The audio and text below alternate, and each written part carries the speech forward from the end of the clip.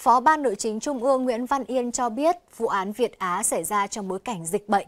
Vì vậy, Ban chỉ đạo Trung ương về phòng chống tham nhũng tiêu cực có chủ trương phân loại xử lý người vi phạm.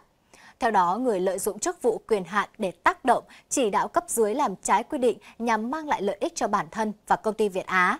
Người cầm đầu, chủ mưu, vụ lợi sẽ bị nghiêm trị.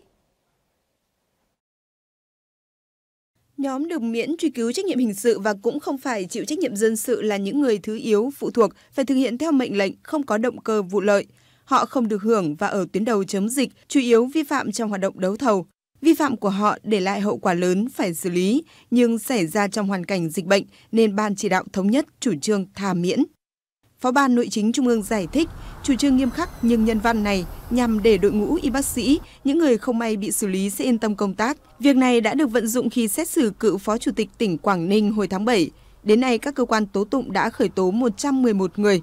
Theo ông Yên, các cơ quan tố tụng cố gắng từ nay đến cuối năm sẽ kết thúc điều tra, truy tố, xét xử. Vụ án Việt Á được coi là điển hình về tham nhũng có hệ thống do tính quy mô xảy ra từ cơ quan, bộ ngành trung ương đến các địa phương, thuộc diện theo dõi chỉ đạo của Ban chỉ đạo trung ương về phòng chống tham nhũng tiêu cực. Kết quả điều tra ban đầu xác định nhằm thu lợi bất chính và chi tiền ngoài hợp đồng, Việt Á đã nâng khống giá thiết bị, chi phí nguyên vật liệu đầu vào của kit test COVID-19.